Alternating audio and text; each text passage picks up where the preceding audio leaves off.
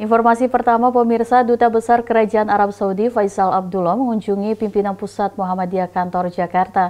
Kunjungan ini disambut hangat beberapa ketua pimpinan pusat Muhammadiyah dan sejumlah anggota LHKP pimpinan pusat Muhammadiyah untuk membahas berbagai problematika umat muslim di dunia.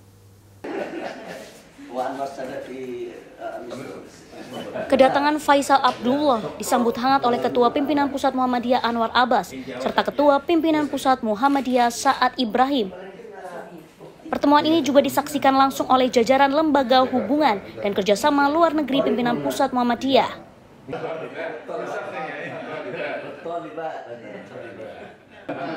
Silaturahmi ini juga merupakan kunjungan balasan oleh Faisal Abdullah setelah pada bulan Ramadan lalu, pimpinan pusat Muhammadiyah berkunjung ke kediamannya di Menteng, Jakarta Pusat.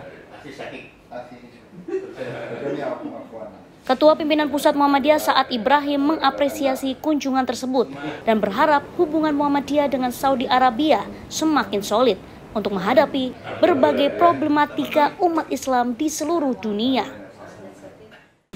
Atas nama pimpinan Pusat Muhammadiyah, ya, saya menyampaikan terima kasih sebesar-besarnya ya atas kunjungan ini.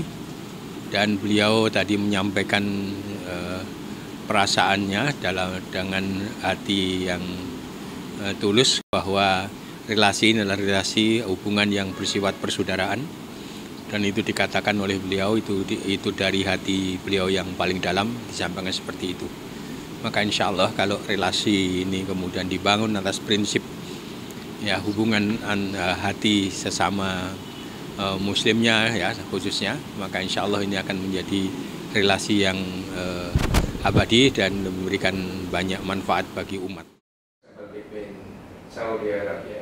Dalam keterangannya, Ketua Pimpinan Pusat Muhammadiyah Syafiq Mukni menjelaskan, rencananya kolaborasi antara pimpinan Pusat Muhammadiyah dengan Kerajaan Arab Saudi akan terus ditingkatkan baik pada aspek pendidikan, ibadah haji, maupun aspek sosial lainnya.